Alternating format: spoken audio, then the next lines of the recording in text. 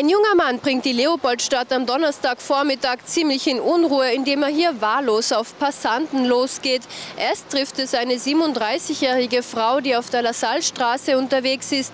Der junge Mann greift sie aus unerfindlichen Gründen an, stößt sie zu Boden und schlägt dann auf die wehrlose Frau ein. Schließlich lässt er doch von ihr ab und läuft davon, läuft in Richtung Taborstraße.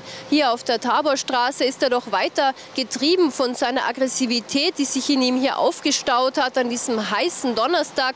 Und er geht hier auf einen 22-jährigen jungen Mann los, der die Kippa trägt. Das ist die traditionelle jüdische Kopfbedeckung, die man hier im zweiten Bezirk recht oft sieht. Doch es bleibt hier bei dem Versuch der Körperverletzung. Er lässt dann von dem Mann ab und läuft in Richtung Schwedenplatz, der hier nur fünf Minuten entfernt ist. Und dort kann er von der Polizei gefasst werden.